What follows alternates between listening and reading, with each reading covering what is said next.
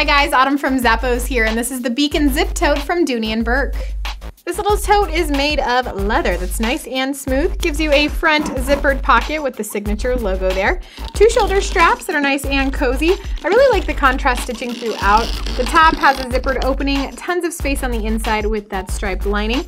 Nice and soft to the touch. You've got the back wall zipper pocket, a slip pocket. It does give you a little key hook to keep the keys in place. You've also got two slip pockets on the other side.